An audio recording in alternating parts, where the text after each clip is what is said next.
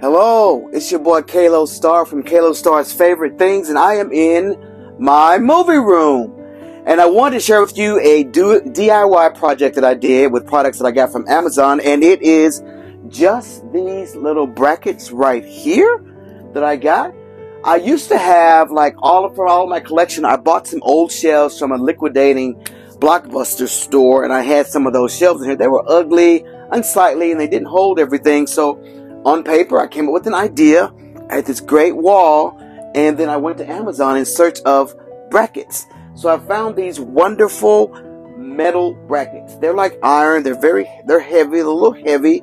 They have three prongs on them, and I'll show you that on the screen here, and you'll see what those brackets look like. But then I wanted to do something with the wall. Now the wood is just something you get from your local hardware or Home Depot kind of store, whatever kind of store you go to and you just get some wood here.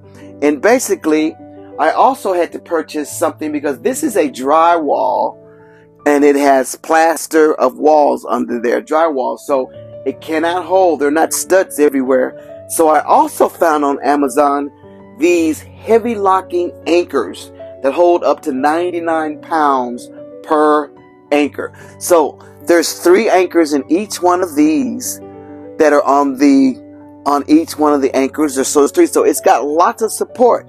So as you can see, I am an avid collector of movies, and I needed something just perfect for my movie room. Uh, after I got everything complete, everything is all alphabetized and nice, but this is one of the things that you can do by just finding the things that you have on Amazon. So here's my movie wall. Basically, you need to purchase the brackets from Amazon. Go out and find the brackets. I have them there for you to check. And then also, you have to get some anchors. If you put it on a wall that is a drywall, it's not going to hold. Let me tell you, these are very heavy. You can do this for your CD collection or you do your DVD collection or any other kind of collection and you can make this kind of wall here. So this is very accessible. Everything's all alphabetized. So if I want to look at a movie, I just go and find it got them all alphabetized. It was a lot of work to begin with, but it's done. So, it is so amazing the things you find on Amazon that'll help you create something like this. So, welcome to my movie room. Get yours made soon.